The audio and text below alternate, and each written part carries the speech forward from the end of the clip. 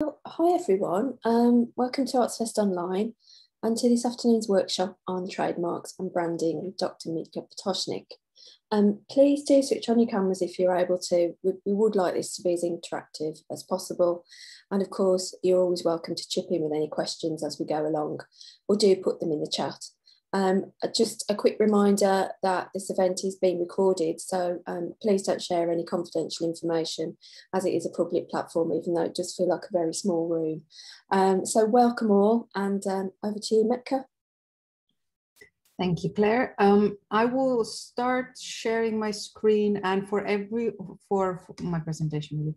and for anyone who's attended one of our workshops beforehand, um, you will know that the um, format of these workshops is meant to be interactive.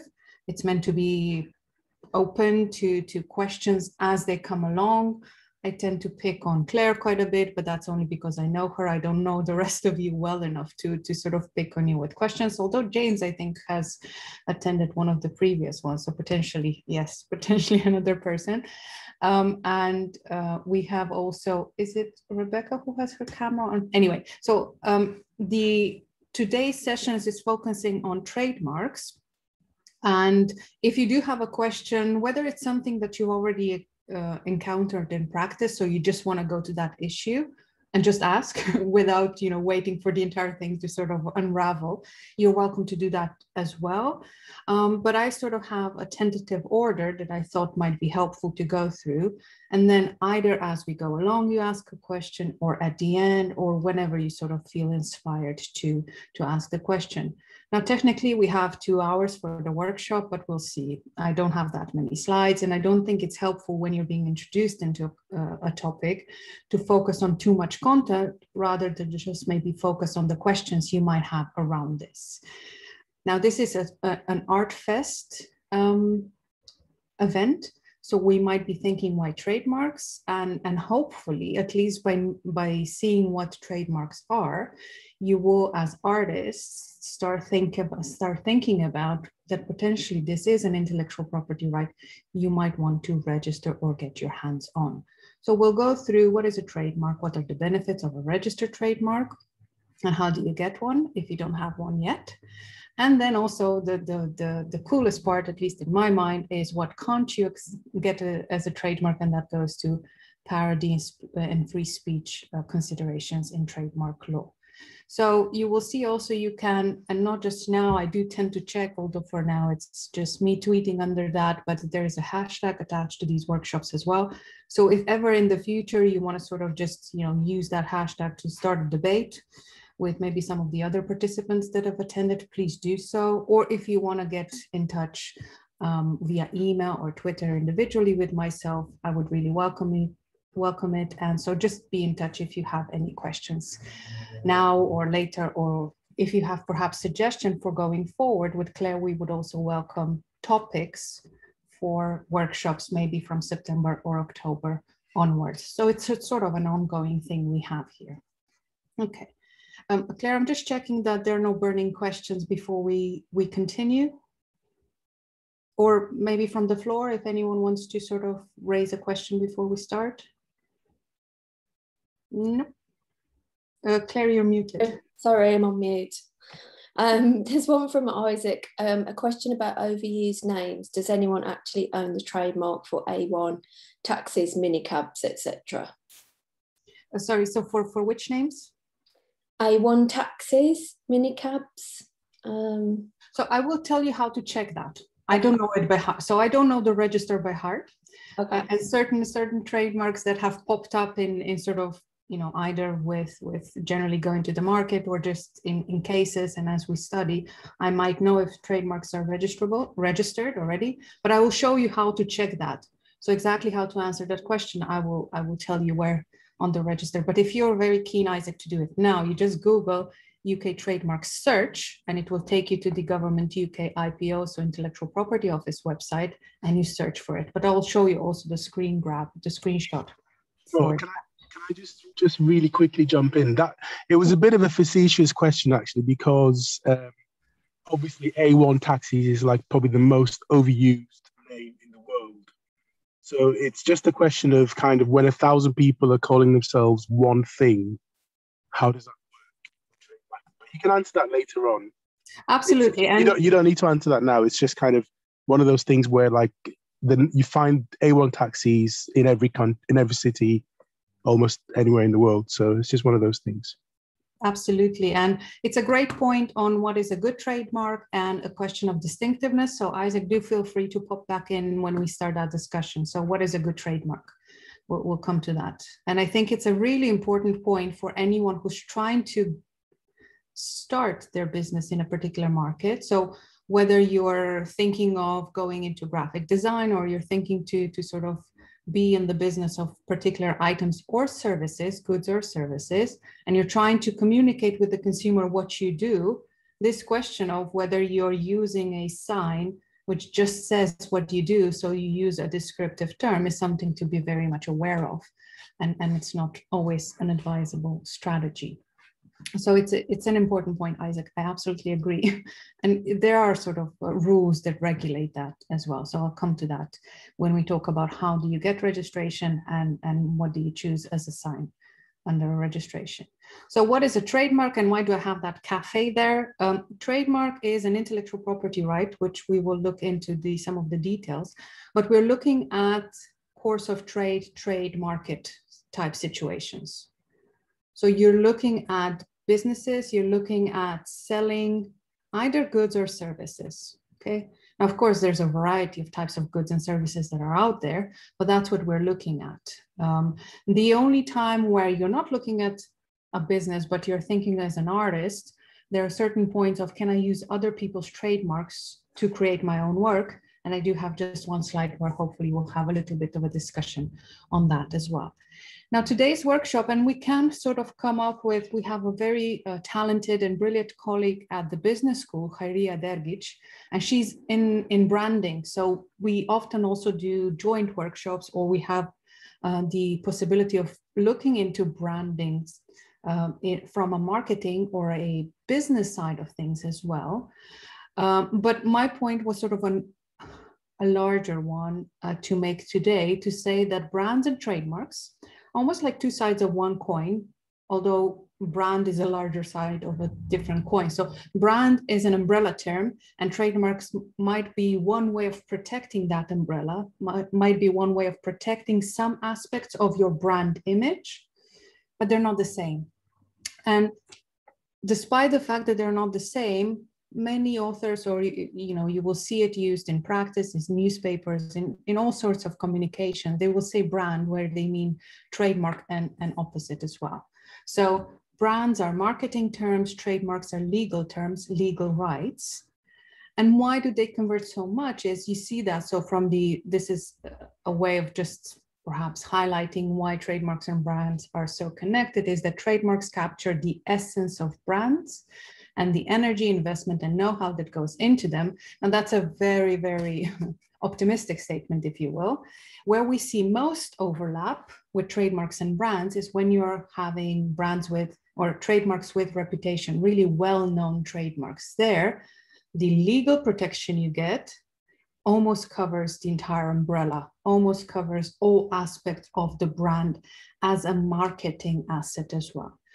So trademarks, what we're call, uh, what we're discussing today, we're going to focus on the legal side of things. I'm not going to be speaking to, you know, I don't even know. There are three P's and all sorts of things, right? When you're looking at brand value, image, what you stand for, what you want to project to the world, and so forth. There are obviously experts who can speak to branding, and I've mentioned just um, one of them from the business school. And if that's something to consider, maybe going forward as one of the ArtsFest workshops, we can look into that. Legally, however, we, we just need to be aware that trademarks are not the same as brands and, and the terminology is different as well. So what is a trademark? Right? A trademark is a legal right in a sign which is used in the course of trade in commerce. What is a sign?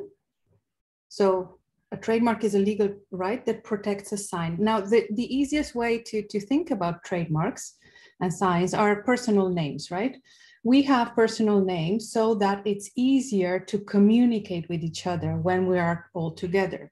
So if you think of uh, um, you know a, a, mom going to shop with her three kids and if she would always be hey the eldest hey the youngest or you know the tallest or the shortest by description that would take much more time than just saying john and whatever are the names of the ch- children right and you can think about those shortcuts or short terms um, which are signs or trademarks when you go to a shop and you're trying to find your favorite brand of tea, your favorite trademark, your favorite tea that you've always sort of been buying and purchasing for a long period of time, how do we sort of get used to recognizing that a particular name or sign will correlate to your positive experience from the past is you you you start recognizing that name as the name of something you can trust something you value and something that is of good quality so you see the name, you will not only trust that, oh, this is a product I've bought in the past, I've liked it. You will also start trusting that a new product under that name will probably give you positive returns if you were to buy it. The upside, or if we didn't have trademarks in the market, is you would have items, goods, or services, if you're thinking about it, you would have items in, in a shop and you would go from one to another, try to compare the ingredients that are there and say, right, I want to have tea, but I don't want to have caffeine or tea, theine in it. I want to have herbal tea, but so it gets much more complicated and the decisions around that because become much more difficult. They're not so easily made. They're not as transparent. And most importantly, it takes time, right? So these signs and how you sort of choose them will dictate how your consumers, the people you're trying to reach in the market, how, how easily they will find you. Right? And that's why it's important. Yes, maybe in the beginning you're thinking, oh, people should know what I do. So you're thinking, I should say I have the best services. But on the long run, everyone has the best services. Or as Isaac said, you have all these types of taxis, you have them in every city. So they no longer stand out. That's like everyone being called John, all the men in the world being called John. Then it no longer becomes a, a name that you can actually rely on successfully use. Because if you were in a classroom, say John, all the men are John, everyone would be looking up. It no longer really works well as a name. So a sign is uh, what we protect is that commercial symbol that will have the capacity to be recognized by the consumer and it will indicate the commercial source of the goods. So the origin function is the whole reason why we have legal protection in trademarks. So whether it's a logo, a word, or a combination of those, that will function as a beacon of commercial source. This is coming from X company or from X trader. That's all. That's the point of trademarks. Okay. Now, you're not here for a trademark class and how we protect them in, in that, but just sort of a way of thinking why an artist might think about this is if you're putting items or services, so if you're putting on training workshops or other kind of services you might be in contact with consumers and when you are in contact with consumers you might be thinking about using symbols that will allow the consumers to identify you as standing out from everyone else's goods or services in the market so what what we protect with a trademark is a sign can be anything really words letters numbers logos colors shapes sounds with the last one, two, three, color, shapes, and sounds. You have to be careful because um, there are certain rules around how do you put that on the register. So we know exactly what is on the register, what is a protected trademark. So you can't just register all types of color green you won't be allowed to do that. Yeah, as much as that could be of interest as a broad monopoly, we do have to keep consumers and competitors in, in mind. Now, in theory, you could also protect scent, so what things smell like, but we don't have practically a way yet to objectively register scent like we do with colors, right? With colors, we have Pantone number, blah, blah, blah. So we all know which is the color or the shade of yellow we're talking about referring to in our registration. For scents, once we have a, a detector, I don't know why I always think it's going to come in a device like a little uh, portable vacuum machine. Anyway, so if we do end up with having devices that will identify scents objectively, then nothing in the law would stop such a registration as well. Okay. So that's first. You have to think about the sign you want to use in communication with consumers that will act as a beacon, as a signaling function to the goods or services are coming from you. You are the commercial source of those goods or services and nobody else. And then the second thing to, to really keep in mind is that trademarks are used or registered for specific goods and services. So you don't get a registration of a particular word, Kodak, for all goods out there. That's not how the system works. You might eventually come to these types of marks, which are so well known because they have been extensively used. Now, extensively used might mean, you know, over many, many decades, as you have it with McDonald's, and McDonald's sort of not only with the length of time, but also geographically, right? They're almost in all parts of the world. You might have just intensive use, right? So Pfizer is something that probably not everyone would be like, oh yeah, I know Pfizer. But since last year and the development of vaccines, I think consumers are now seeing Pfizer thinking, oh, they make vaccine. And of course, so many others. So it's a pharmaceutical company, right? And you then have these kind of well-known famous marks, or in the UK terms, we call these marks with reputation, that will give you more protection than just a normal mark. Now, how would you get that as, as an individual or as a business owner? It just comes down to you having used this mark for such a successful, whether it's a period of time or intense use, that you're able to satisfy a legal test.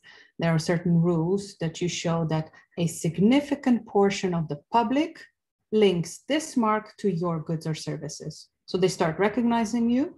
And if you have that, you will have a extra level of protection. So it's possible to get these kind of marks. Now, as an artist, you also have to be aware that when marks are really well known, they have that extra layer of protection. So you might not be able to use them as freely in your own work. And we'll come to that as well. Okay. So why register a trademark? Why pay the fees and why bother to go through the process? Okay. Now, quite practically, if you work uh, keeping accounts and if you're thinking about maybe using um, some kind of financial assets to secure a loan or things like that, trademarks are property rights and they are considered also to be intangible property rights that count as business assets. So, uh, and I don't know how the accounting of it all works, but you could think of that, especially once you start building the goodwill around that, once you start using the trademark for a long period of time, the value might also grow with um, so the assessment of the trademark. But that's something separate too, um, to really what we want to focus on. One of the points is you don't necessarily have to register the trademark to get some kind of protection in the UK. So in the UK, just as you would in the US, if you're using a sign in trade, in the course of trade, so you're actually selling products or offering services, let's say under a particular name, you will get some kind of protection. That some kind of protection usually means you will only get protected when somebody else comes along and they start selling the goods pretending to be you. That's the confusion. When the consumer buys the goods or services, they are misled to think that what they're buying is coming from you, and it's not. So that's the most classic type of protection.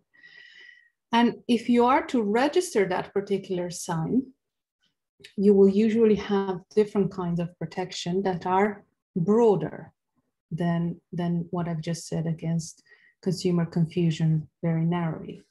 Um, and there's a, another more, more practical advantage to this, and that is really that you have evidence that you have this legal right because registration will give you a number and it's very easy to, to just sort of refer to that registration number if somebody else starts using.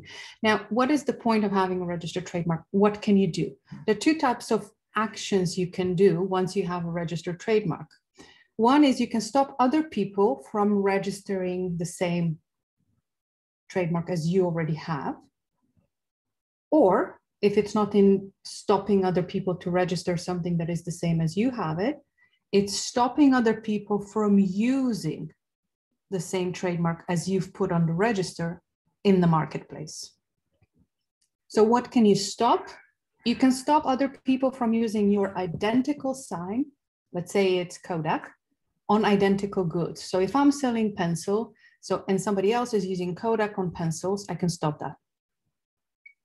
What I can also stop is somebody using not only identical, but also similar signs. So instead of Kodak, it's Bodak. And not only on identical goods, but similar goods. And similar goods do have a, a, very extensive interpretation that sometimes it will also work in complementary, complementary goods. So if I'm selling Kodak toothbrushes and you're selling Bodak toothpaste, without doubt, I can stop it. Now, I'm not going to, so what will be confusing? So the second type of action we can stop in the marketplace or even in registration proceedings is identical similar signs on identical similar goods. So it's either an identical sign on similar goods or similar sign on identical goods or similar sign on similar goods that cause confusion as to commercial source. So people seeing that trademark, which is not yours, somebody else is using it, on identical or similar goods. So you can think about chocolate being similar to biscuits, or if it is, I don't know, shirts being similar to, to pants, or, you know, they're sort of groupings of goods and services. But would that confuse the average consumer? Now, the average consumer is not stupid. They are considered to be, you know, they will read and they will see the presentation, they will take the marks holistically in the market. So we're not concerned with the most attentive of people in the marketplace or the most, you know, sort of not paying attention at all. We look at the average consumer, and the average consumer is reasonably well informed about the state of affairs in the marketplace. They're reasonably uh, um, uh, paying attention and they're circumspect. So those are the types of situations you can stop with any trademark. So identical signs on identical goods or similarity in either to two. So similar signs and similar goods. And I'm not going to go into legalities, but the first one is easier to show than the second one. Okay, so when you have identical sign on identical goods, it's almost automatic infringement. You can stop that. With the second one, you need to show evidence of confusion in the market. It need not be actual con confusion. You can just show likelihood of confusion. So it's not that you have to bring evidence of those people were confused when they bought it. Okay. The third one is where we talk about dilution type claim, where we talk about marks with reputa reputation. So that's the largest scope, the broadest scope of protection you will get. That is when we have something that looks like a famous mark, something that it resembles, will create a link in the mind of the consumer between that famous mark. So whether it's Dior, so you know, Dior, you could think about Bior, right? Instead of D, you would have B. Sounds the same, looks different. Of course, there's a difference there, but you know, would the, the consumer think of that link? Could do. So you just need to show that the sign that the third party is using is creating a link in the mind of the consumer. And then you can stop the use of such a party, even on goods which are different. So for example, could you be selling Rolex uh, washing up liquid? You can't. Because protection given for marks that have broader protection, uh, so marks with reputation, is more extensive. So owners of these marks with reputation have more protection. So there are no Dior shoes, there are no Dior watch, well, I don't know, maybe Dior makes watches, so let me be very clear. There are no Dior laptops, there are no Dior bananas, there are no, so unless Dior is sort of putting it to the market, there are no other products carrying that name under the sort of the, the statement that, oh, Dior is not making that, they don't have to. So under that extra level of protection, you're able to stop everyone else to use that sign in the course of trade. And we'll come back to what happens if you're using it, you know, parody purposes or just because you want to have fun. Or maybe you want to criticize some of the, the uh, company policies so people have been using Greenpeace. So Greenpeace has been using um, different oil companies' trademarks in order to make a point around environmental protection and pollution.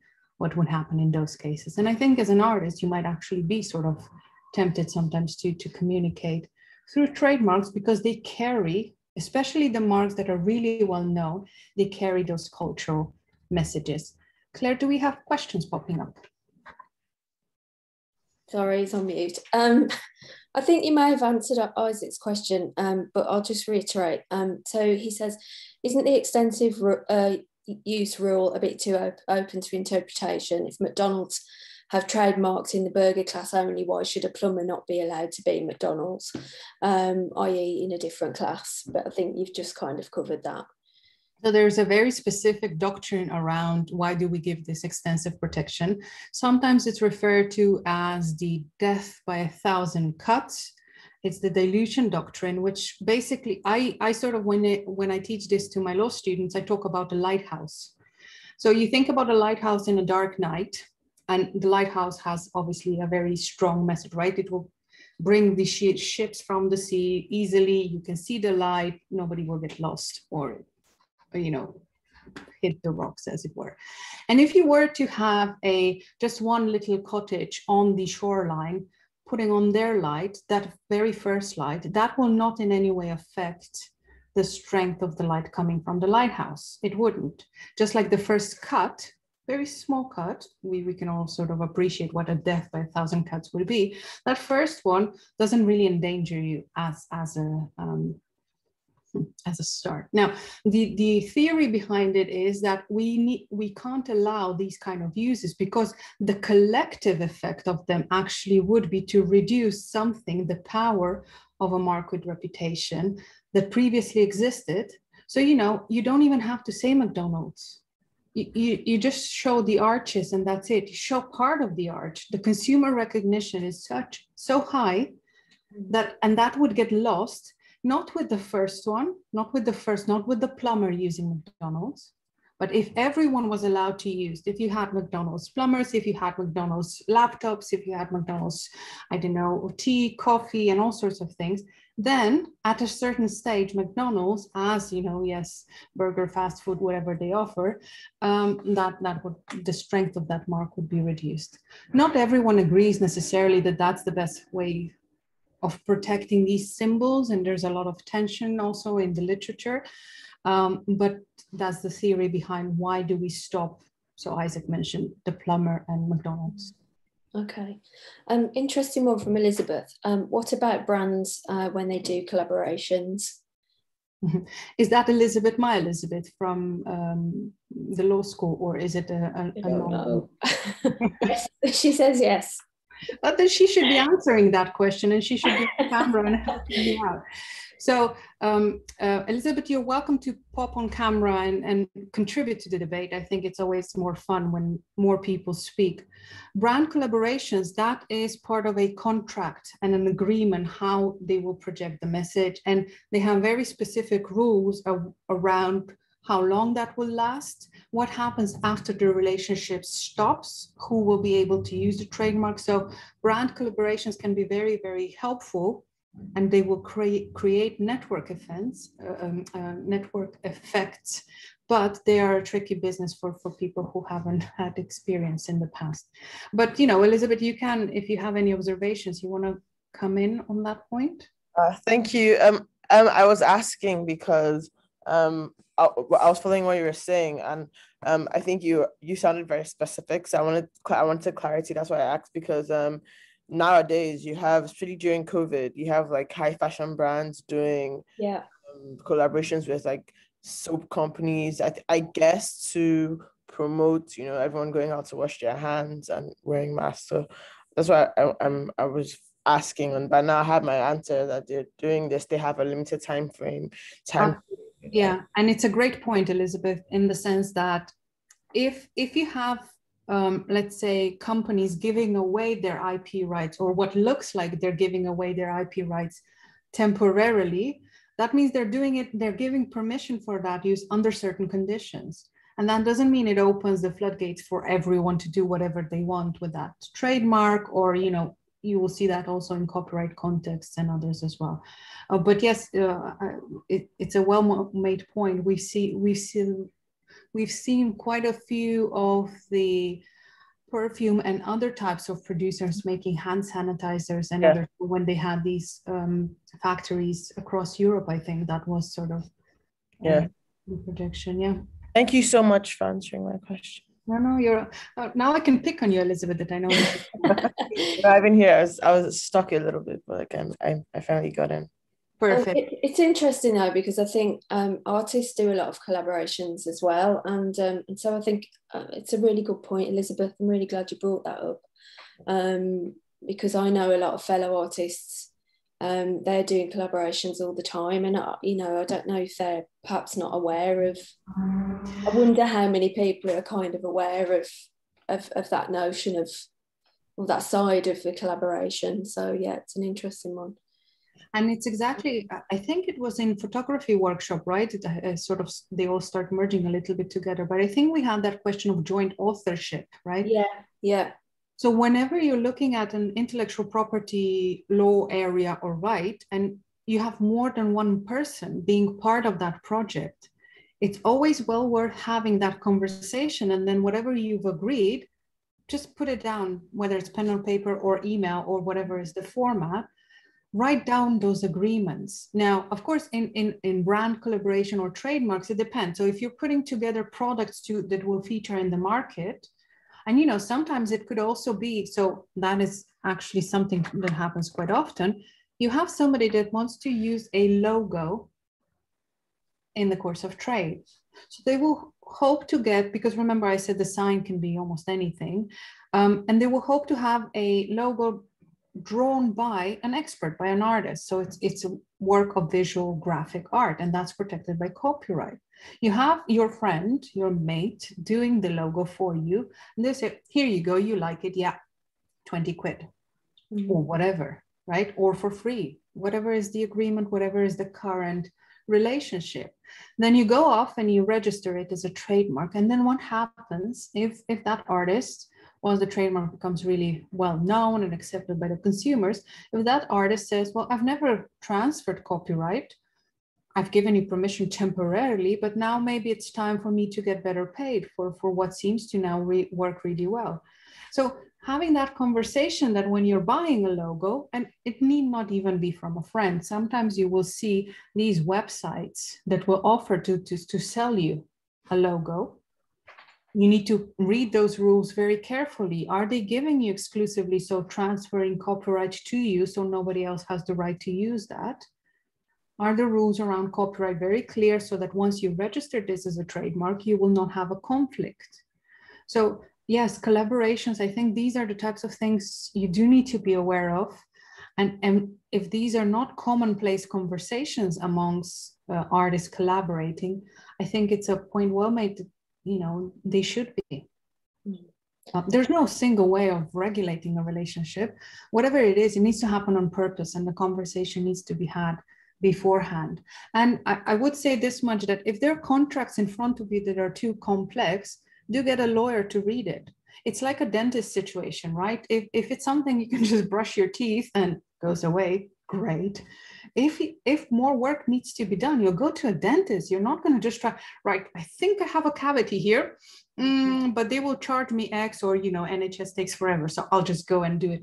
So there's certain situations definitely where taking legal advice none of which what I'm talking about today in the sense of how do I get a trademark wouldn't require you to, to get legal advice because there's a lot of information put on, on the government website with their hope to bring trademarks closer to individuals and businesses.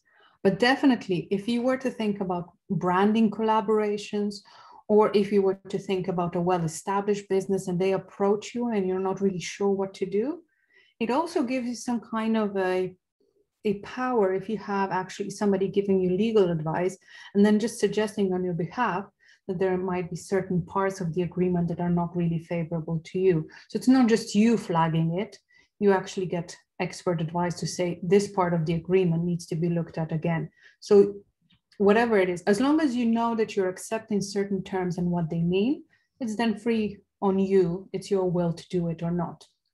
Um, but yeah definitely. Okay, uh, thanks for that question, Elizabeth. Um, one from Isaac. He asks Do these companies pay for extra protection once they have reputation? No. I was hoping that everyone. um, the renewal fee. So how does it work? Once, and we're we're, we're going to be that will be the next step, right? So how do you get a trademark? And once the trademark is put on the register, um, it will be valid for 10 years. So you register 10 years, you have a trademark. You then have to renew it if you want it to continue as a legal right. And there are certain fees attached with renewal.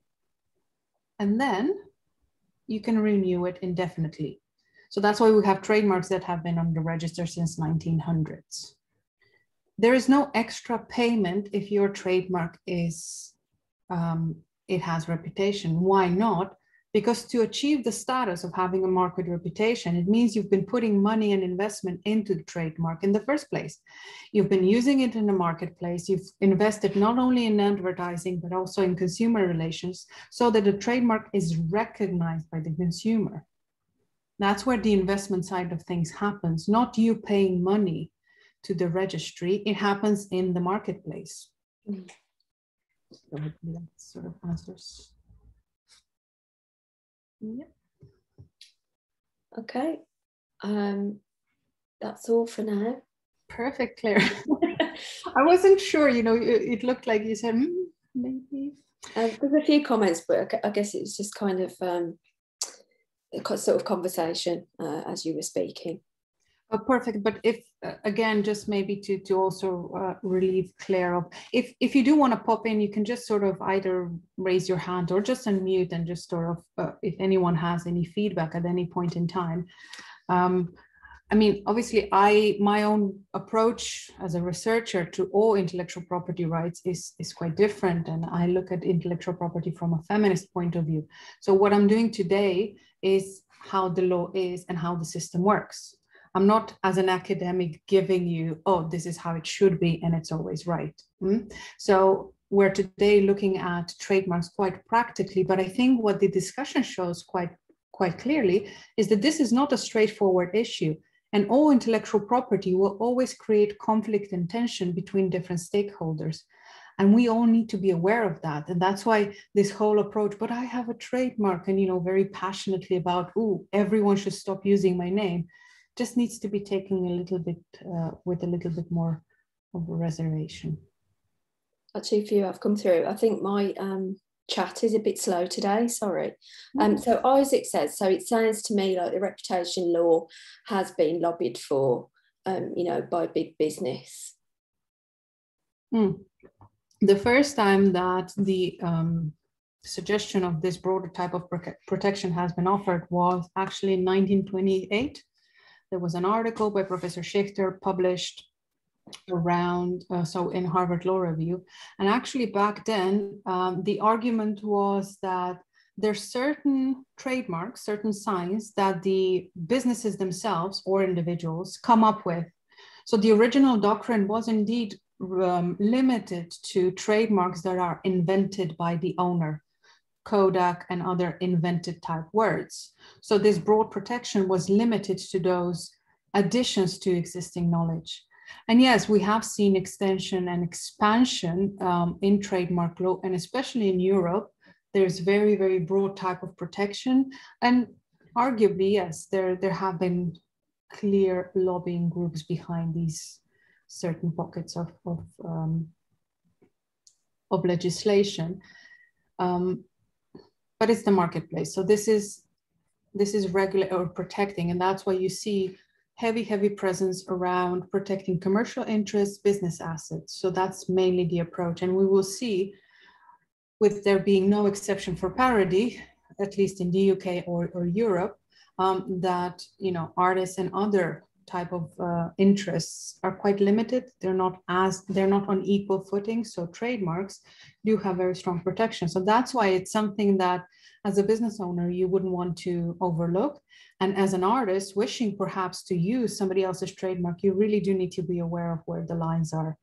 Um, if you don't want to, or you know, if you want to take the fight to to the man, as it were, uh, then great. Just be aware that it can happen and has happened in the past. Okay. I'm pretty sure when we come to the uh, registration limitations or no no there will be further discussion to be had. So let me just sort of name to do to, to point to some of the things to think about if you were to register a trademark right?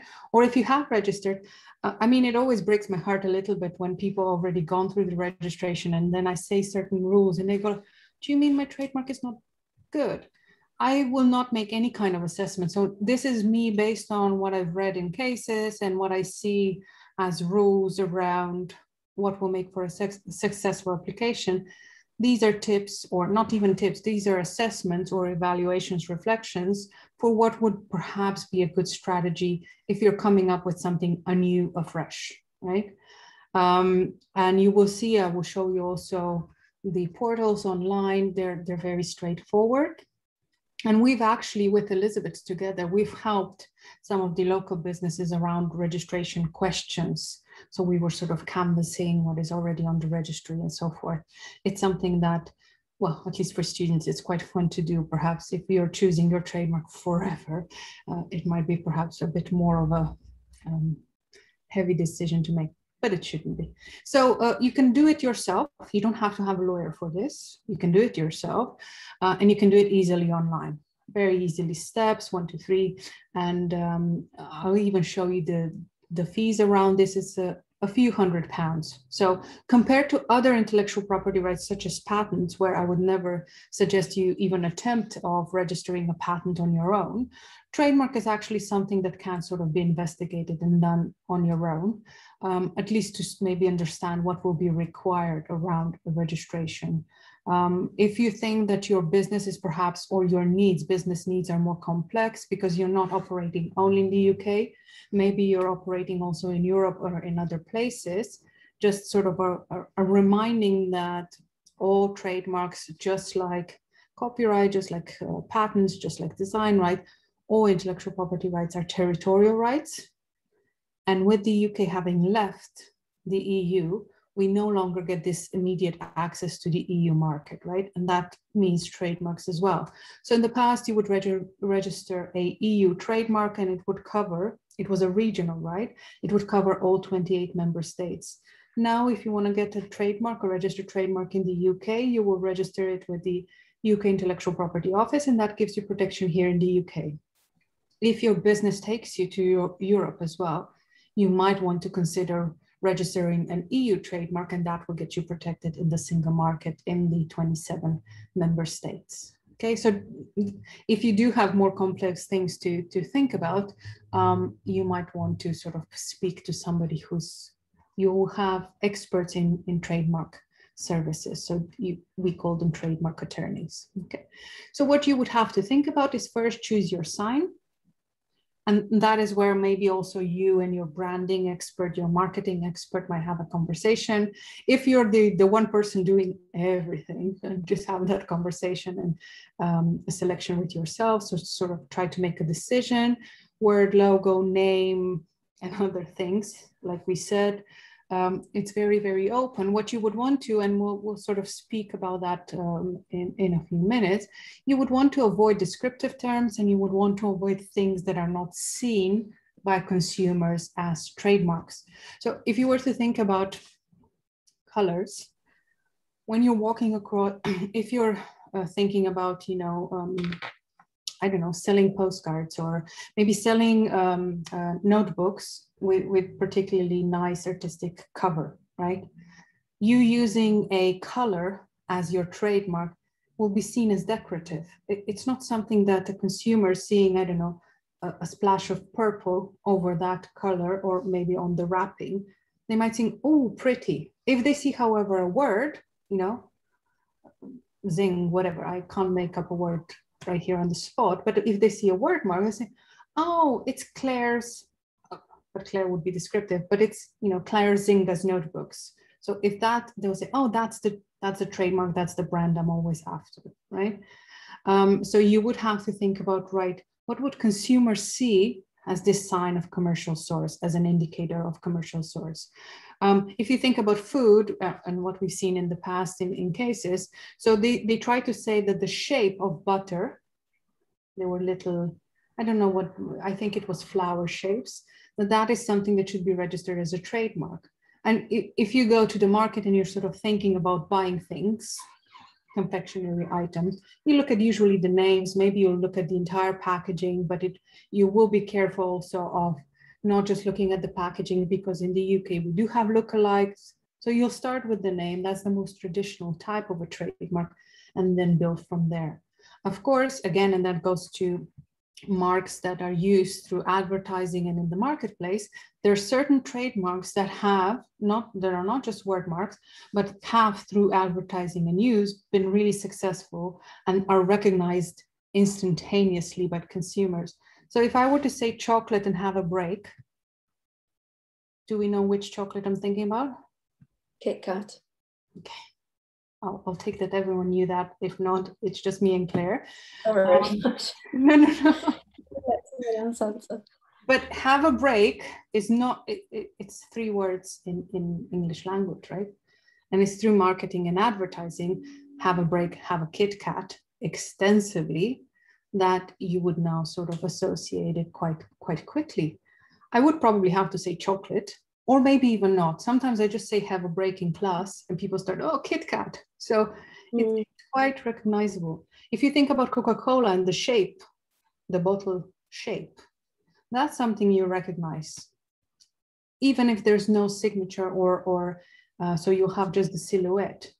Um, you know, you, you recognize it because it's been used so heavily in advertising marketing and just being sold in the marketplace and having done really well in the past. Right? So when you are thinking about registration, you're thinking about the sign. Um, you need to think about the goods and services and each, so there's around 200 pounds ish to, to get a, a registered trademark. So one sign and, and for one class of goods or services. Okay, so you might have, so the, the one of the classes sort of for services, the advertising, uh, so that's class 30, 35 is very often seen and you have sort of a few types of services that would fall there. So you have to use at least one, but you can just go through the selection and see what would be. And so the first one is around 200. And then if you're adding on classes, make sure that's the type of goods or services you are thinking about offering because otherwise in a few years time people could come after you and say you're not using it for shoes so it's going to be canceled for shoes. So think about the goods and services where you're thinking about using it. And then if you want to in a few years time expand so you first focus on i don't know advertising because that's part of your uh, work. But then you say you know what? Actually i do want to start making uh, stationery. It's just a spin-off. You can add that to the registration as well um, so think about what you're going to use. So what are the goods and services? And there's also, uh, so once you've made your selection around what you want to register, sign for goods and services, you then need to check the register. So we've had this discussion a little bit already. You need to check that nobody else has put your identical selection on the register. So exactly the sign you wanted and that could quite easily happen if, if you're using something that's part of the English language, right? So if we said Claire's cupcakes, that's potentially already registered. It wouldn't be surprising. Now, if you registered Claire's cupcakes for books, maybe not, right? So Claire Cup, Claire's cupcakes for books perhaps is an unique enough of a um, choice that it hasn't been registered in, in the past year. So you need to check the register that nobody has done exactly what you select or something similar. So, you know, if, if it's not Claire's cupcakes, if it's Claire's tissues, but it's Claire that will be standing out. Apologies for the crazy people outside. So it, it, you have to also see if there's similarities around what you're trying to register. So you're not allowed to, let's say, let's say we would want to register Claire's Cupcakes.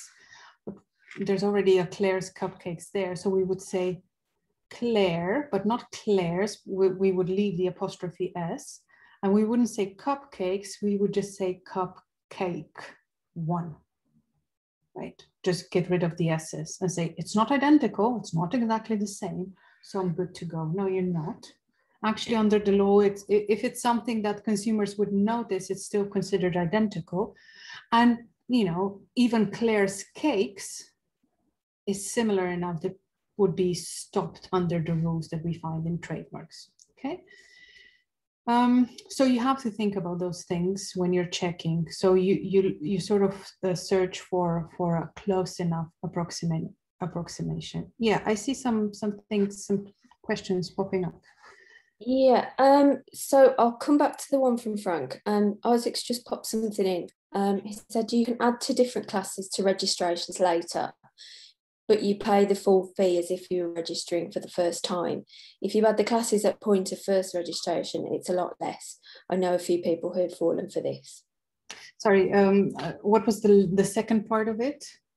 Um, if you add the classes at point of first registration, it's a lot less.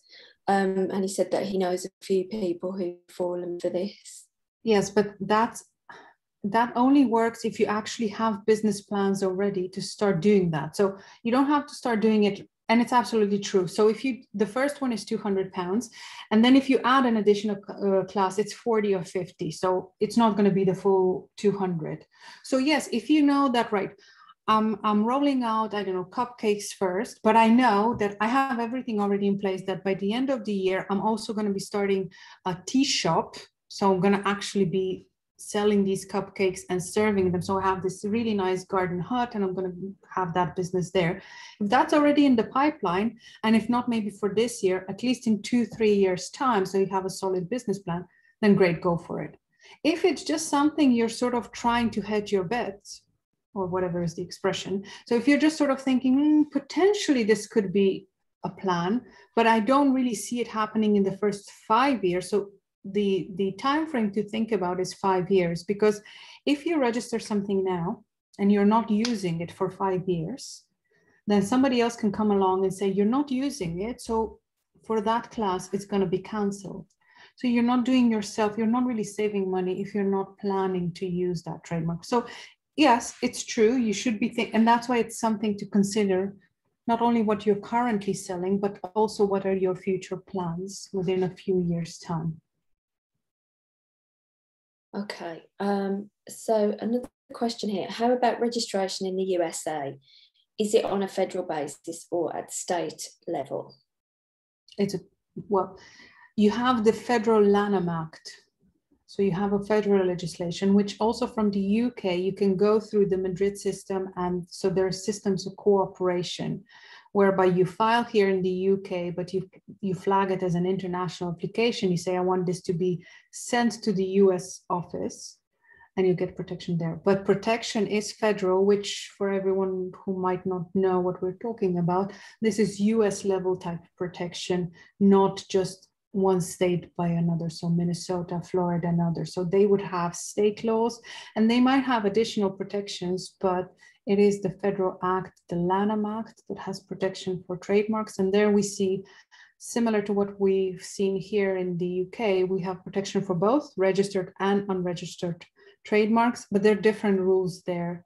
And without really going into much detail, the, one of the main differences you really have to have proof when you first register, you will just show intention of um, using. So you have the intention to use the trademark, but the rules are out around showing proof that you have used the trademark you're applying for in, in commerce are stricter than what we have here in Europe and the UK by extension.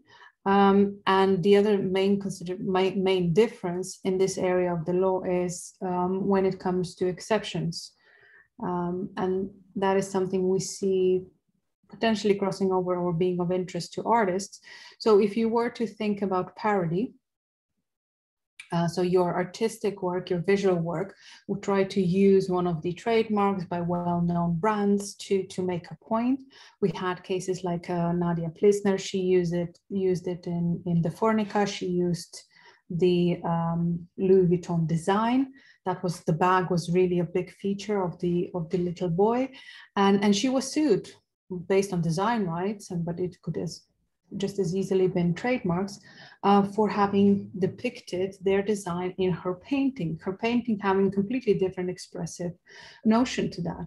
Now, what we see in the US, we see that there are actually exceptions or defenses of parody even under trademark law. So something that remember, if you were listening to the copyright discussion we've had, we do have a fair dealing defense for parody. In UK trademark law or EU trademark law, there's no such defense. So defenses are much more limited and parody could quite easily get you in trouble with the trademark owner. Okay. But US is a whole whole new thing. Definitely you need to sort of consider that if, if you're active in the US, if you're selling goods and services there. Um, but yes, federal. Okay. Um, Isaac says so Americans have a better sense of humor. Um. I shall refrain from commenting, shall I? um, especially, how, yeah. Yeah. especially how things are going in the past few years. Um, it's actually the US that has been the largest exporter of intellectual property rights. And the reason why we have such an extensive protection internationally, it is the US and the international businesses across that that are to to sort of be accredited with with the extensive protection we see uh, in the US. But definitely in the US, you do have this broader protection also for, for marks with reputation.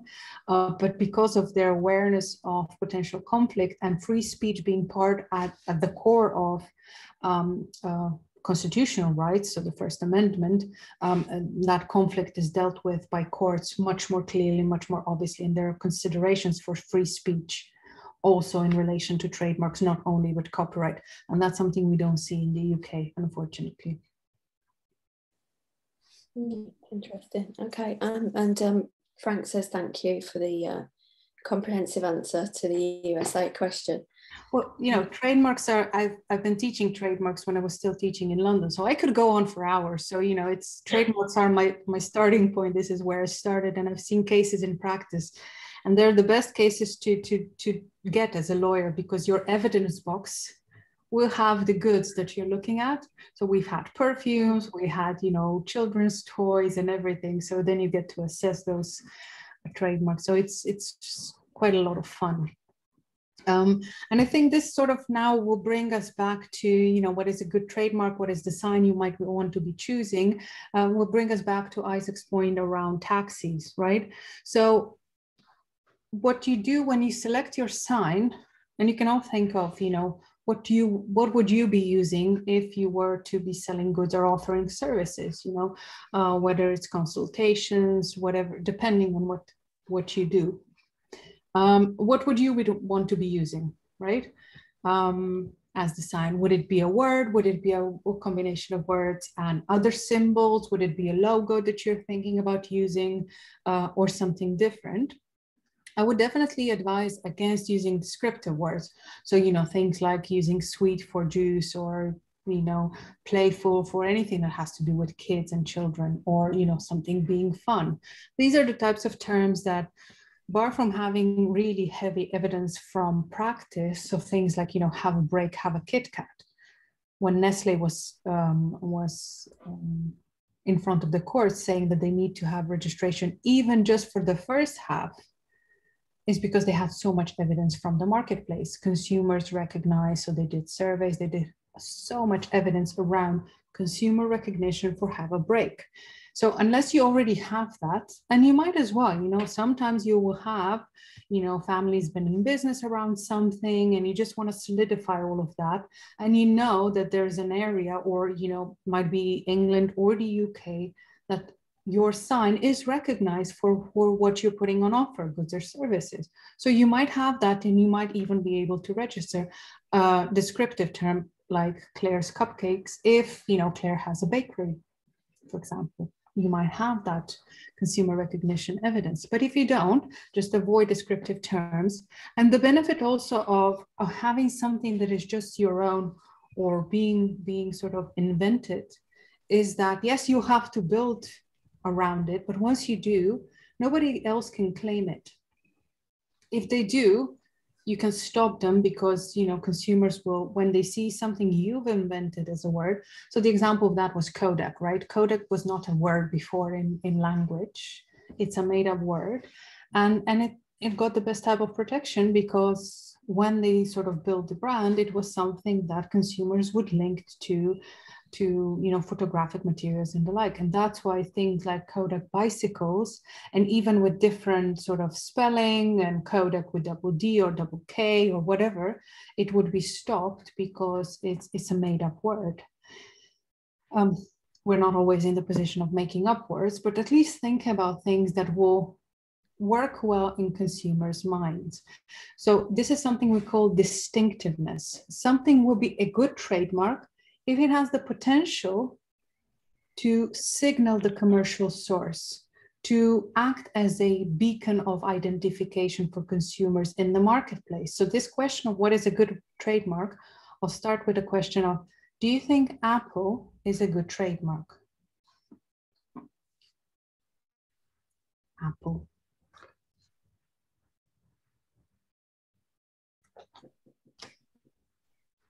Claire, what do you think? Is Apple a good trademark? Um,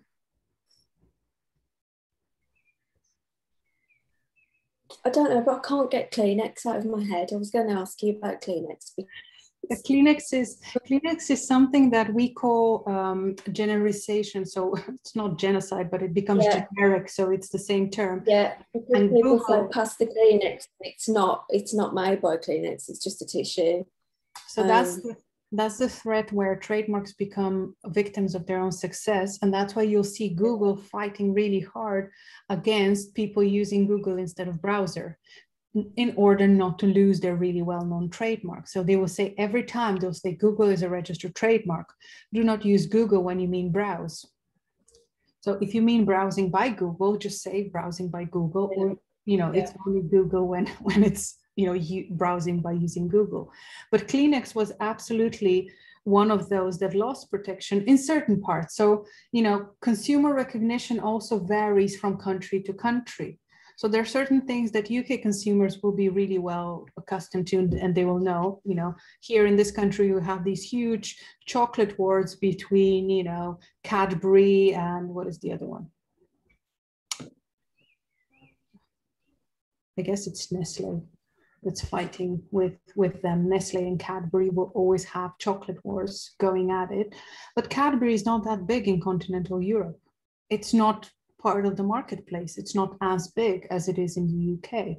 Just like Hershey bars is something that I only know because I teach trademark law. I've never ever bought a Hershey bar. Well, not at home, and here in the UK, probably you have them. I don't know. It's not something that it's in in in my mind. So even consumers uh, so different marketplaces will have different reception, will receive the trademarks differently. So what the who the average consumer is, it also depends on the language you use and, and other things. So, you know, life as a trademark works differently in the UK than it does in China, especially if it's written in English letters life it's a generic descriptive term in this country. It's not that in other countries where the native language is not the, the official language is not English and so forth and so forth, right? Um, but um, so Kleenex was one. The other one is escalator. Escalator used to be a trademark. It used to be that there was a specific manufacturer and then yeah and then you know they lost their trademarks and the same with uh, xerox machines so the copiers oh yeah yeah yeah so they become. Sorry, I've just completely digressed. You were asking if um, Apple was a good trademark. Um,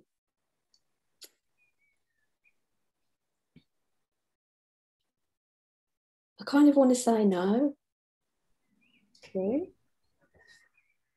Um, I don't see much interaction in the chat, so I would agree with you, Claire, on on no if if we're thinking about anything that has to yeah. do with apples whether it's yeah. apple scent that's involved, apple juice, or or you know, biscuits, apple pie, anything that has to do with that, or even if you were to think about, you know, um, items that usually have a scent so that they're more um, more easily to, to be sold. So things like, you know, detergents and other things, they might have an apple scent to them, right?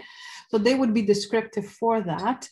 Um, but um, Apple for computers is actually a brilliant trademark because it's something that is so different. Not food related. Mm. Yeah. And, and that's why it works well. Um, um, another example of that was North Pole for bananas because they don't grow in the North Pole. So actually reversing it works really well. Consumers will recognize, all oh, right, yeah, bananas, yeah, North Pole, fruit, bananas. It's, it's very easily recognizable. Because of that, it has that surprise element. So it, it's either a made up word or it is um, something that would not, so the opposite of descriptive. It's not something that people would say is descriptive of the product. It's something that surprises you it's not easily made. That jump is not easily made. Um, and a US example, which let's see if it works in the UK, usually, at least in law classes, it doesn't really. Do you know what chicken of the sea would, a chicken of the sea, there we go. I, I've given it away. It's been a long day. Oh, no, no, I haven't. So what is chicken of the sea? Oh, I've heard of that. So if a trademark is chicken of the sea, what is the product we're selling? So Rebecca's going for cod. Let's let's yeah. gather. Uh, let's gather. Um, yeah, I was going to say tuna something. Um. Mm -hmm. Thank you. We have Tiasha as well. Rebecca.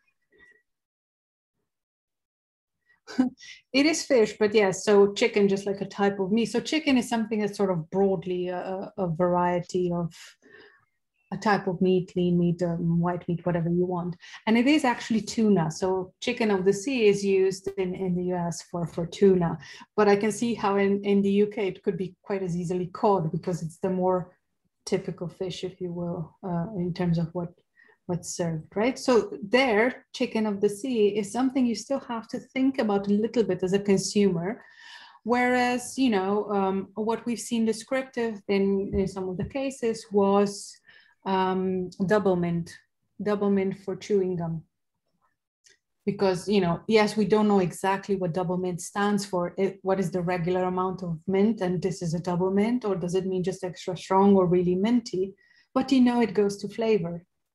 You know that that's not chewing gum with, you know, not with a minty taste, if you will. So um, it's really fascinating to, to go into these things.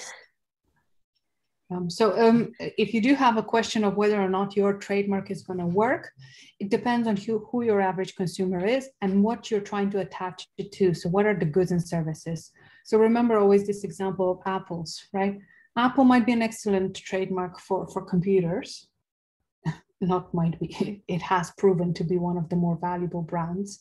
And it's really easily recognizable, right? You can have so many permutations or you know, when you say apple and it is within the context of not actually food, you will be thinking about computers and, and you know, phones and other things. But if it's apple for juice or not, it's even generic, it would never be registered. Okay, let's now look at the fun bits around and, and, this is a reference for, for Banksy and his shenanigans around trademark and copyright law. So what can't you put on the, on the register, right? So there are certain things to think about, but there are also certain limitations, right? So if you were to think about, and there have been developments in the US which actually uh, got rid of these bars and limitations. So you can literally put curse words on the register in the US. Um, and people have been sort of uh, um, receiving that particular decision from the courts uh, with different um, different uh, impressions, I guess. So it's been very controversial that the US courts got rid of morality checks and free speech checks and uh, even things of racist slurs and others. So there's no check in what can be put on the register in the US. So that was a recent development from a few years ago. Um, and, and it's based on the free speech considerations in the US Constitution. In this country, however, we still have that check. So if something would be deemed to be immoral, um, by the general English population, by the general UK population, then the courts, and of course the courts would do that in, in current time. So they would not say whether something has been offensive 20 years ago or it might do so in the future. So the, when they accept the application, they'll say, is FC UK offensive, right? FC UK was something that um, was registered in the end. So you do see it in, in, in High Street or, you know, all across the UK. Um, and of course, their practice was not that they meant to have a play on words and actually say the F word. It's just their standard sort of, so you have it for FC, it's meant to be French connection in the UK. So it's sort of an abbreviation and they follow that pattern in, in other jurisdictions as well.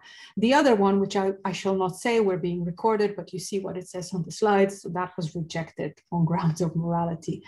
And there are other examples of where this particular area of the law has really worked well. So there have been attempts of trying to register trademarks of the MH flight, the one that was lost. So MH, was it 107 or I don't remember exactly the number, but they tried to register that as a trademark. And again, it was refused on grounds of morality, so that it would run counter morality. There were some, some people who wanted to register Je suis Charlie Hebdo. So you remember after the terrorist attacks in France a few years ago, again, there were some certain businesses or individuals who wanted to register those phrases, a combination of phrases, again, as a trademark. Of course, not with any other intent, but to make profit from something that was a really disastrous event. Um, so sometimes these rules work really well, um, but sometimes they're just sort of a little bit funny. One of the cases that has been a little bit taken differently or accepted differently was registration of comfy balls. Can you imagine what comfy balls would be for? It was rejected in the US back when those rules still existed, but in continental Europe, it has been registered. So the registered trademark applied for was for underwear, specifically for male underwear. Right? And in the US, they said that that registration was immoral. So you can see how this assessment of morality and what would be seen to be unacceptable by the general public would change with time and place.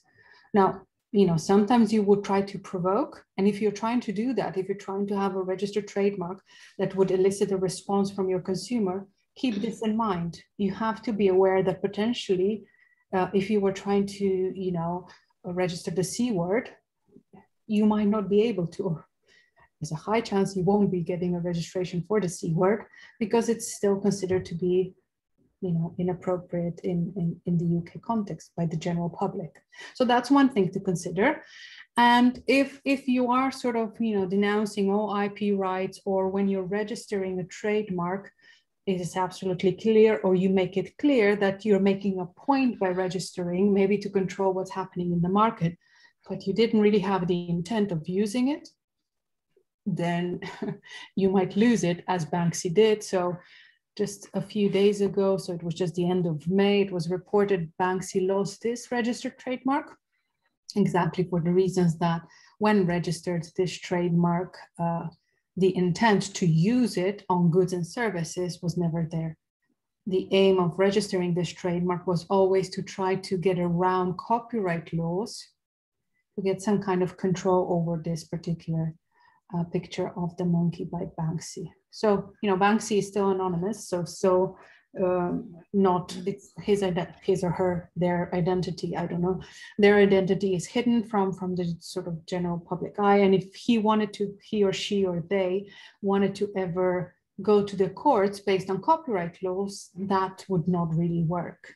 So one way they were looking at sort of circumventing those rules was perhaps through trademark rules but as I told you, so this registration has been um, lost just a few days ago, really. Okay. So that's that's one consideration. So you you have to think about what you're putting on the registry, but again, it, it depends on what your artistic practices are. And I did want to just sort of bring the. Can you sort of think of what this par what is this parody of? Chewy Lewis, Chewy Vuitton, Chewy, or even if you know from the symbols. Anyone making any links there? Christian Dior. Um, yeah. Louis Vuitton. Louis Vuitton, isn't it? I think. With, with, you know, if you think of the bag and the symbols and even the combination of colors, I think, isn't it that one of their traditional bags has this golden against brown Um, but but it's not so. This is not a, um, more. They did try to sort of uh, work more on the safe side, not to exactly reproduce, so that it would be clear that it's a parody. So this is just a, a, slide to hold that if you are an artist in, in the UK and you're trying to use other people's trademarks in your own work to, you know, for, for a point of humor or mockery, you need to be careful. The consideration, so the defenses that are available in trademark law are linked to competitor uses. So if you're thinking about using other people's works, um, other, other people's trademarks for describing secondhand services or the spare, spare parts that you're using, you can use other people's trademarks if they're also your own personal name. So that own name defense is no longer available for companies. Um, but these defenses are very, very limited. So we don't have a, a, defense that spells out as parody. So you need to be very careful with parody and, and trademarks. Um, yeah, but in the US, we had actually cases that, so Louis Vuitton actually lost the case against Chewy Vuitton, which was absolutely hilarious. Um, okay. The other case, if you want to Google, is uh, my other bag. So you can just put it in. I don't have all the pictures, although this is my absolute favorite part of trademark law. So my other bag. So th there's this company that had that made linen bags. You know how you have them for either going to shop in the market or maybe go to the beach side. So it's just plain bag made of cloth, and uh, they would have on on on the first side they would have something. And then when you flip it, it says my other bag is sort of in, and then they would have representations either of louis vuitton and other well-named branded bags. It's obviously a hilarious point to make but there were certain companies that came after it. And again in the us the court said this is obviously a parody. Stop suing everyone. But that's much easier to do when you do have a defense which exists in paragraph 43C of the Lanham Act, which says parody is one of the defenses when you have claims for these marks with reputation. So in the US, they're called famous marks. Um, so it's just super fun to, to see these cases in practice. Um, um, there's a comment from James. He asked, could he use three wise monkeys pictorially as a trademark? Um, I'm not sure where the um, the question is coming from. So as a um, copyright owner, probably nobody would really come after you. The, the trademark itself has been canceled now. But so Banksy doesn't have a trademark registered. So technically it's out there and open. Whether you want to go down that route or not. Because Banksy could always come forward and say, this is my work, I'm claiming my copyright rights in it they are currently choosing not to do that. They're currently choosing to keep their identity um, hidden and not go for copyright infringements. Um, so I'm not giving legal advice here as such. So this is a very specific question around. So technically, when something is canceled and taken off the registry, it's in the public domain. Okay. What you have with monkeys is you have uh, also to consider the copyright protection because they're graphic works, right? And they're artistic works and they're protected under copyright. Um, and um, there are certain um, representatives also around um, Banksy and their work, and they're very active. By no means is, is Banksy lazy with, with intellectual property questions. It's a strategic point and you can see that how they litigate these cases. They're very very active on this. What would their reaction be of, of, of a third party? Uh, probably it would also depend on what what you would be using them on or for. But my my my question or my sort of uh, suspicion will be that if they're that involved in this whole trying to control the, the image of the monkey, they would probably not be very happy with somebody else trying to step in and register it um, as a trademark. Okay. Okay, so just sort of, can you choose anything? Within the sort of the discussions we've had, so we said that the limitation is on scent, right? Practically, we don't have an objective way of putting in on the register. There are certain rules also around colors and um, shapes. You need to think about anything that is functional will not be put on the register. Why not? Because there are certain rules around. We don't want to have other competitors being robbed of things like colors, if you will um, or shapes of, of a chocolate box. So if a chocolate box shaped as a heart would be given to one company only, it means that all the other manufacturers would not be able to use that. So there are certain rules around um, signs which could be functional. So that's shapes, colors, uh, and sounds as well. But if you're thinking about words, the only thing you would want to avoid is a descriptive where so things like sweet for chocolate or things like you know claire's cupcakes if claire is owning the um, the bakery or whatever it is. Yeah. So what is a good trademark? Remember the uh, the apple conversation we've had? It depends. It depends on the consumers and the goods and services you're thinking of uh, selling. And when you are thinking, uh, when you are exploring the register, you need to not only look for identical matches, but also similar matches as well, okay? When you have marks with reputation, don't go near it. Yeah, don't try to register something similar to McDonald's or something similar to Louis Vuitton and others. Um, they have broader scope of protection, so they will be covered. They will be able to stop you, even if your mark is only similar to theirs and you're using it on different goods and services. They have the right to stop all types of activity. And what does it look like? So this is all online, right? You just go trademark search UK. Um, there's a specific form for searching a trademark. And I think the way it works is the easiest way to work or to, to search for them is through words. And then once you found one word mark, you can click on the owner and then try to see everything that that owner owns because i think the search through images is a bit more difficult. It, it doesn't seem to be as obvious. Um, so just play around a little bit to see everything that's on the registry. And so you you also have quite a bit of guidance when you sort of there's a different portal to not a different portal it's the same portal but a different page that actually walks you through step by step apply to register trademark. So almost everything we spoke about today from a UK point of view will be here. So, you know, register trademark, what you can and cannot register, how to apply, and what happens after you apply, and what is this, the type of protection you get if you don't decide to register as well. So they will explain registered trademarks and unregistered trademarks as well. So these portals are open to the public and, and there's a little, quite a little bit of a, a description on there as well. And the fees that are attached to that, and I think that goes to Beatrice's question around international, although no, I'll leave that for, for Elizabeth. Elizabeth is actually working on her PhD on, the creative industries in Nigeria. So let's leave that question to her. I'll just make a point. If you look at the, how much it costs, right? So you see that application to register trademark one class is 200 pounds.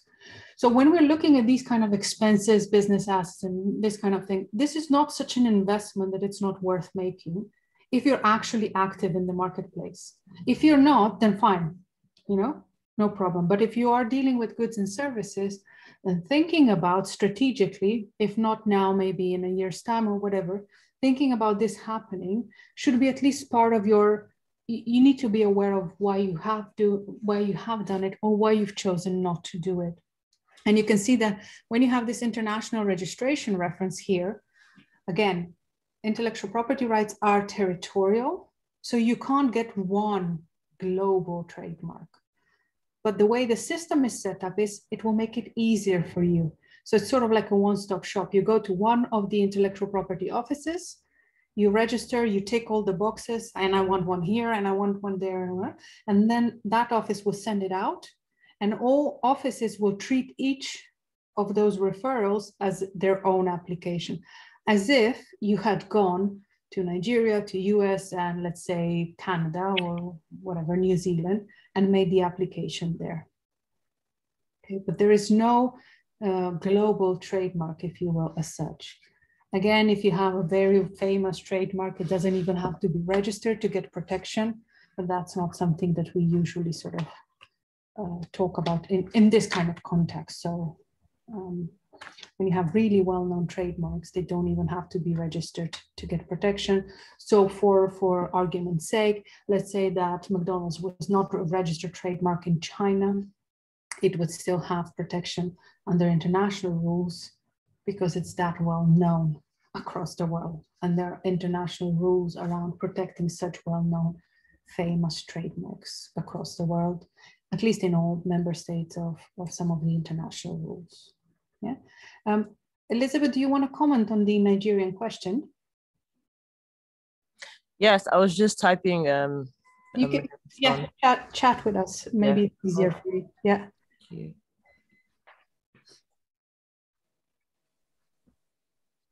Ah, well, okay. Elizabeth apparently is going to do it typingly. I thought she will comment, so I stopped speaking but I think she's muted herself. Oh, I will type. I have like a little bit of noise in my background. So that's why. Okay. Um, I will. I would type an extensive response, but um, generally, yes, you can. Um, you can register trademarks in Nigeria. Um, how can you register in Nigeria to be recognized internationally? Um, I think with the way it works in Nigeria, because I've registered trademark in Nigeria, you need to um register trademark in the um country you would you would also want the trademark to be effective in. Um, but in to register the, the process for registration in Nigeria, I'm gonna run it through through in the chat box right now. Mm-hmm. Okay, thank you, Elizabeth. Um, and uh, James has said the parody defense, yes, in US, not in the UK or Europe. So there were changes in the um, rules on uh, in the EU a few years ago. I think it was around 2017. So the directive itself was 2015, then made law here in this country 2018. And they first started with parody being one of the new defenses, but then through the process itself, parody was deleted from the new defenses, and it now only features in some of the introductory points that this is an important consideration, but we don't have a, a, an express reference or express defense in there. Um, just before the um, we continue with the questions or whatever else people want to say, is I wanted to just sort of highlight um, because I think for artists, you would want to have a, a, a, trademark connected to who you are or your name, right? So there's this great desire to actually say, can't I just use my name and have it registered as a trademark?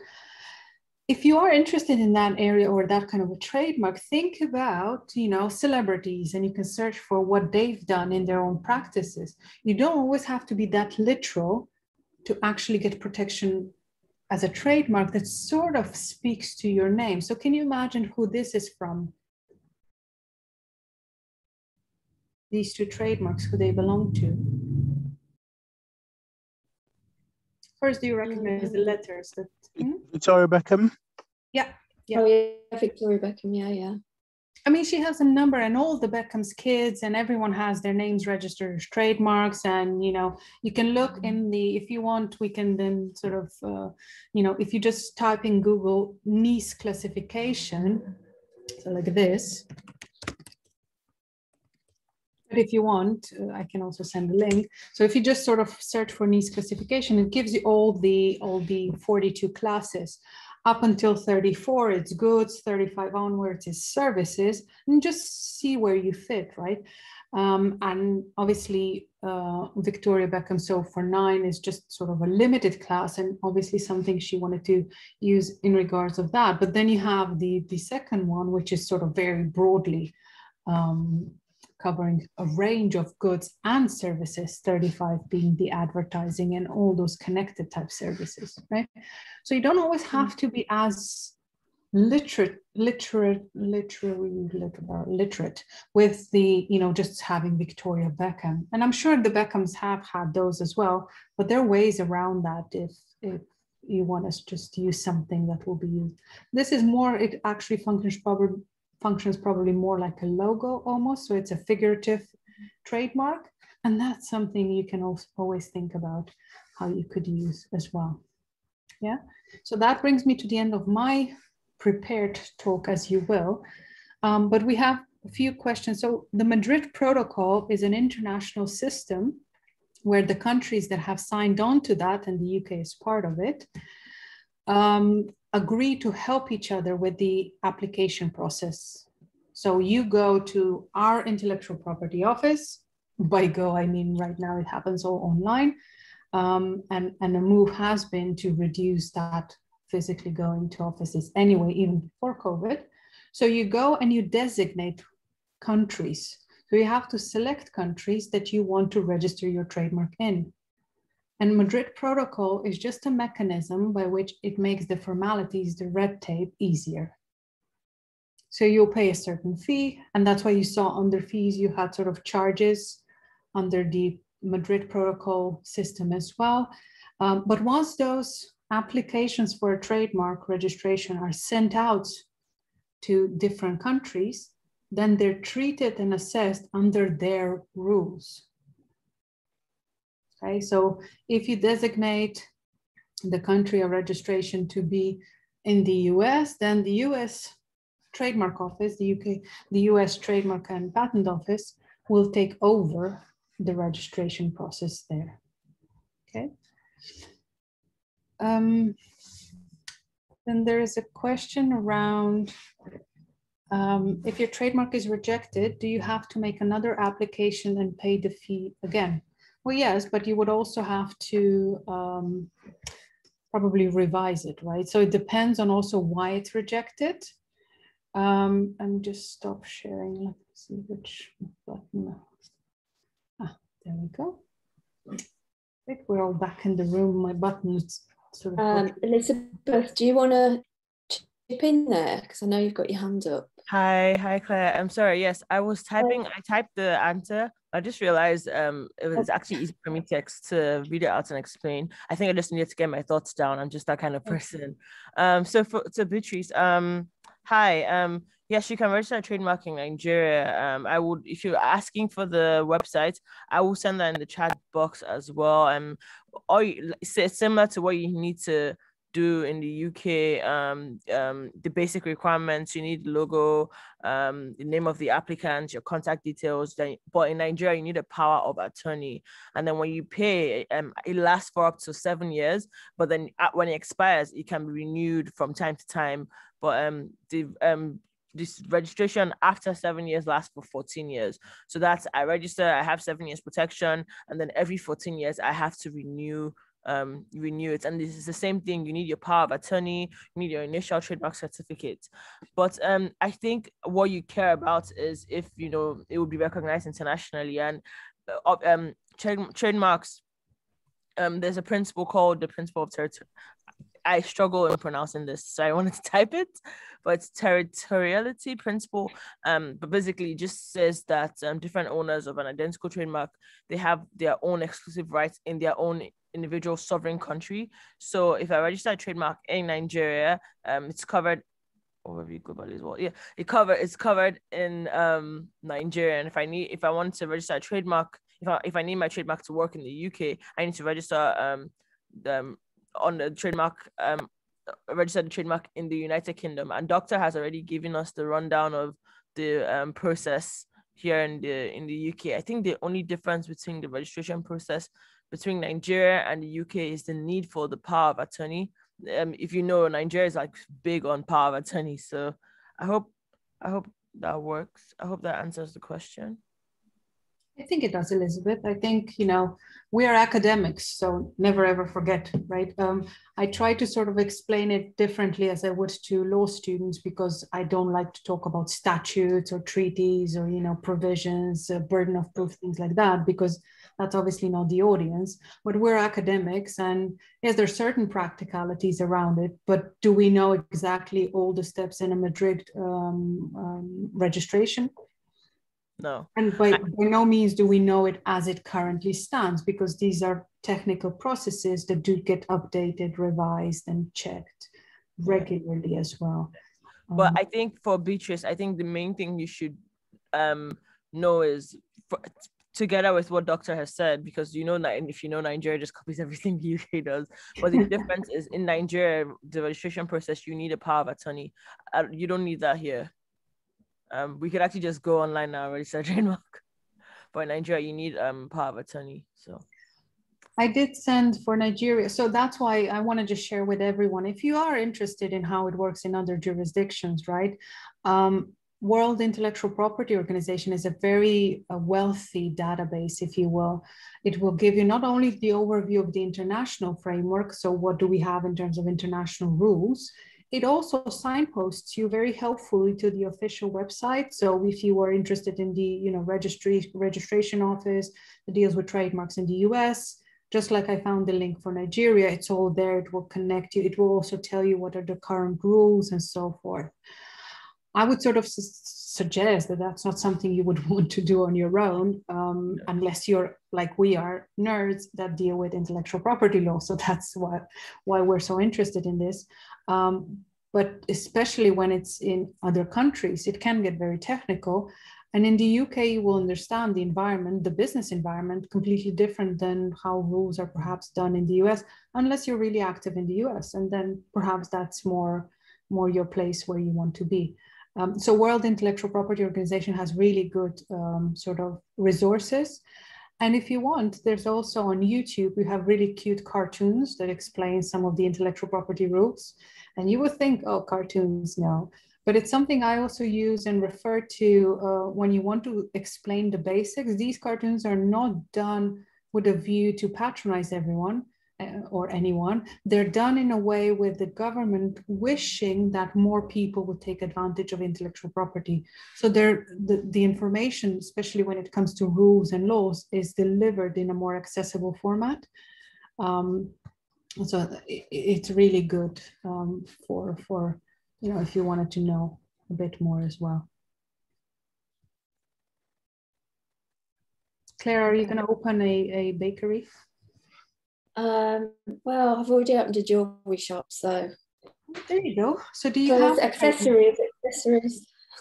So do you have a trademark then, Claire? No, I don't. I don't. No, not at all. I was thinking of Claire's accessories because that's really um, you know, really big. Um, um, no, I haven't actually, but this is kind of, you know, it's kind of making me think about do I need to do that? And yeah. well, you know, if you wanted to stop somebody else selling fakes of your products or pretending that somehow they're spin off, especially when your accessories take off, um, and online, for example, right? We've spoken last time and the, the, the, the, in one of the earlier workshops that when you're looking at Instagram, Facebook, and other platforms, Amazon, eBay, if you see somebody selling fakes or pretending they're you and you actually have a registered trademark, then the online complaint process is very easy for you. You'll just sort of raise the ticket, you'll say, this is a trademark infringement, this is my right, registration number, blah, blah, in the UK and, and you report it and that will have to be taken down by the platform. So, you know, when you are, if you were to think, I don't know whether you're going to be selling things online, but if this is potentially something, so you do have in, in the online environment through platforms, registered trademarks are also a way of, you know, making it much easier to show that you do have that intellectual property right. Sorry, did you, did you answer that? Can you hear me? Yes, we hear you, Isaac did you answer the question about um, TM and R? I'm actually oh. multitasking at the moment, so I might. If if if you have oh, answered it, I'm sorry. Did we yeah, actually, that? You know what? Sure. You know what? You can ignore the one about Britain coming out of the EU. That's probably complex, but um, can you use basically? Can you use the words TM as a warning? Because um, I know R is when you know R is the legit one, legitimate one, and um, that means you've registered it. But often people use TM. How effective is that? I mean, you know, effective. It, it has no legal weight in the UK, uh, in the sense that you know, you you will have some high somehow a different uh, set of what you're entitled to if something were to go wrong or if you were to go to the courts. If you just want to alert people that this is a registered trademark and you don't want to just have the smaller font to say star and then on the bottom of your website, this is a registered trademark number blah, which you can do as well. If you want to use the TM, nothing's stopping you. Does it of give you any mm. does it give you any extra protection if you don't have a registered trademark? No. Um, so if if you have, you know, it's sort of a question around what will work best in, in the marketplace. Probably people, when they do see some kind of a sign there, they might think about it at least. Mm, yeah, the Um, reason the reason I ask this is because I come across a lot of businesses who who are basically startups, and often they don't even have the money, the two hundred pounds, to pay for a registered trademark. They have mm-hmm. a brill- they have a brilliant idea, and as soon as the idea is out in the market, because it's not registered, somebody can nab it. So it's that it's just the thing about the small business person But but ideas them- Yeah. but ideas themselves are never protected as such. So thinking about business models, they're not protected under copyright or patents for failing to meet all the requirements. Okay, Mm. can I? Yeah. So basically, I, I I get the idea that ideas are not protected, but when when they've decided to trade, maybe they need like six months to recoup some capital to pay for the, because when they're starting, they can't they can't afford the two hundred pounds, but maybe after like two or three months of trading, they can afford to protect their brand. So it's that period of putting their their product out on on the market, which is so risky for them because they just don't have the money to protect their brand.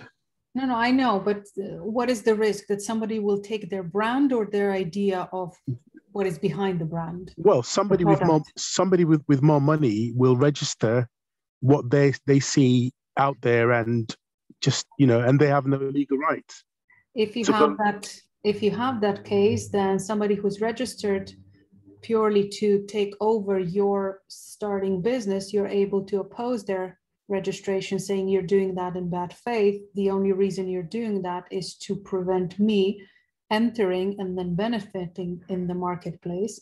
And you'll be able to stop them if that's the only reason they're doing it. So, you know, once you've made your entry to the marketplace public and else un, comes un, along, un, unregistered. So Yes. once you've met, yeah, okay, uh-huh. yes, and then somebody comes along and registers, you will have a, a stronger have- case. and you will have evidence that the only reason why they've registered is X and Y and Z, if that's the situation, then you'll be opposing their registration based on um, bad faith. Just Okay. like, so it, depends on the facts, right? So- But there are so- certain rules that will stop that.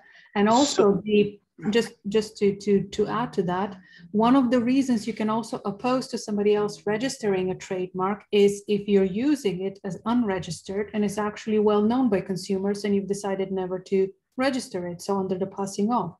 Let's say you're locally. So Claire, Claire is now opening a, a let's say uh, not a accessory shop, but she's opening a bakery. And actually, in 10 years' time, she has the best following ever in, in the West Midlands. And she's selected to use it, I don't know, let's say salt bakery, not gla- not not uh, um, um, Claire's bakery, but let's say salt bakery, right?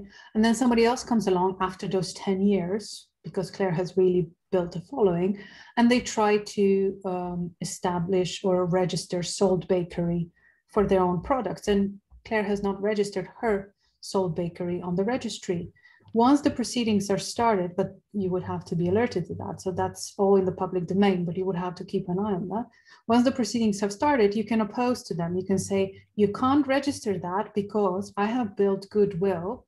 It's unregistered use, but I have built goodwill and consumers recognize Salt Bakery as belonging or identifying my bakery.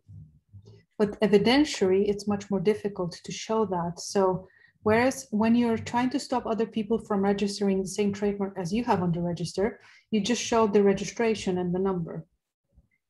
If it's an unregistered trademark, evidentially you have to provide proof, how long you've been in the marketplace, how many products you've sold in the past 10 years, any kind of consumer recognition evidence. So it's not impossible, but evidentially it's much more difficult to show and establish that case.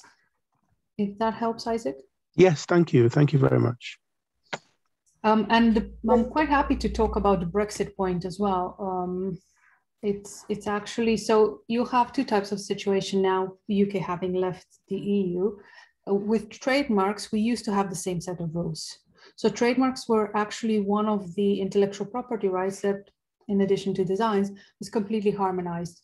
So all EU member states, all 28, had the same trademark rules Um, so if you wanted to know what, what are the German rules on trademarks, exactly the same as in the UK. There was one instrument, EU, and it was made law in all 28 member states. So that was one, all rules were the same. The second one was you also had an EU, uh, so a regional right. You registered one trademark, it was in Alicante, there, that's where the office is.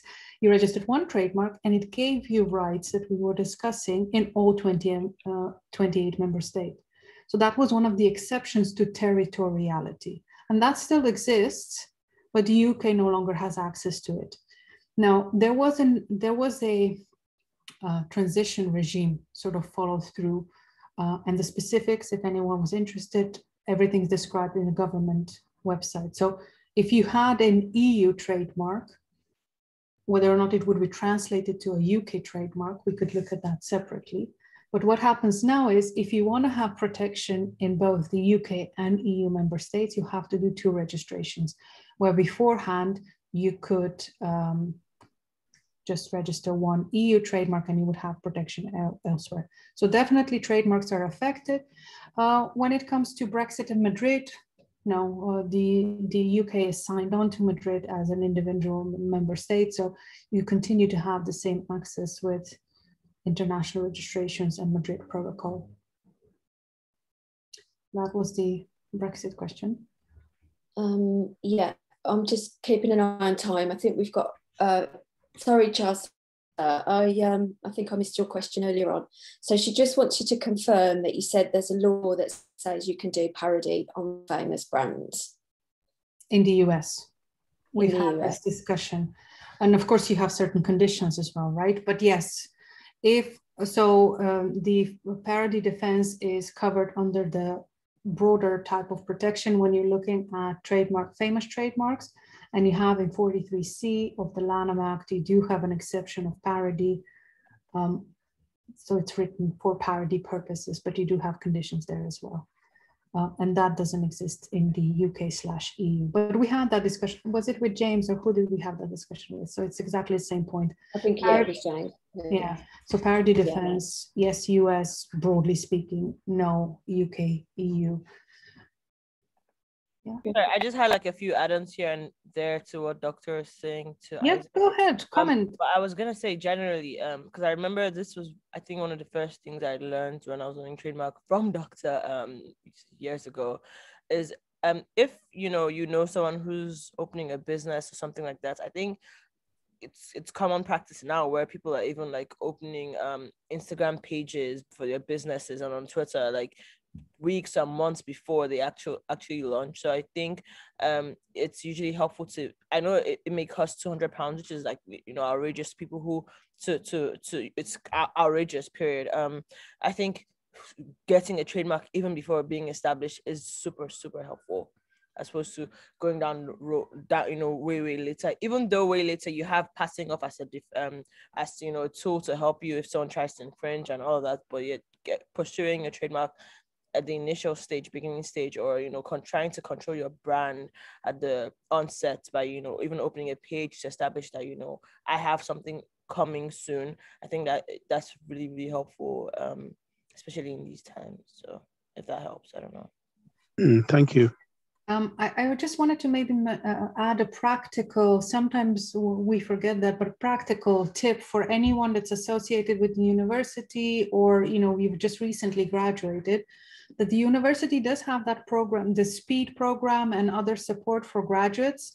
And this kind of advice around business models and trademarks and this, this is exactly what you would be thinking in that first year where they're supporting you to sort of set up your own business. So definitely sort of look at that type of support if you're thinking about, you know, making it out on your own.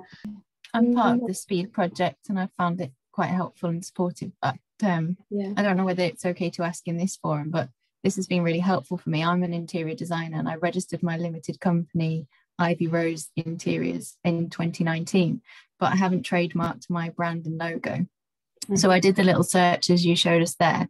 There is a company registered Ivy Rose, but I would want mine to be Ivy Rose Interiors. Would that be too similar?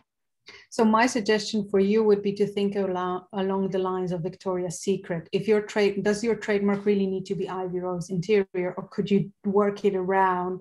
You know, because we still Ivy Rose, but as a figurative trademark, so there's something that we operate yeah. as a logo.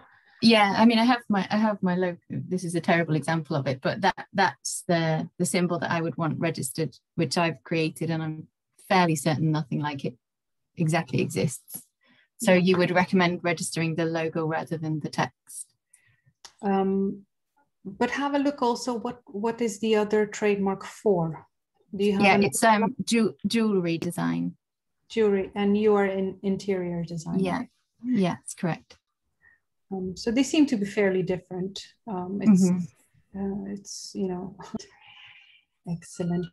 Well, look forward to seeing everyone at the next opportunity. Yeah. Absolutely. Thanks. And thanks so much, Metka, again. You know, your knowledge Pleasure. is absolute gold. And, um, you know, it's really, really valuable. So thank you. And um, yeah, see you next week. Thanks, everyone. Bye. Bye. Bye.